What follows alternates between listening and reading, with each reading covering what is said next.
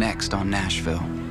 A 24 year old with a 17 year old? Does he know he can go to jail for this? And you guys clearly hate him because he's black. Hey. Are you kidding me right now? I'm not just doing this because it helps me. Sometimes I just feel like you want me to be unhappy. That is totally unfair. I've been here every second. Until I'm better, and I'm then. still here. Are you ready to see it? Oh, we're all gonna look at it. I gotta see it first.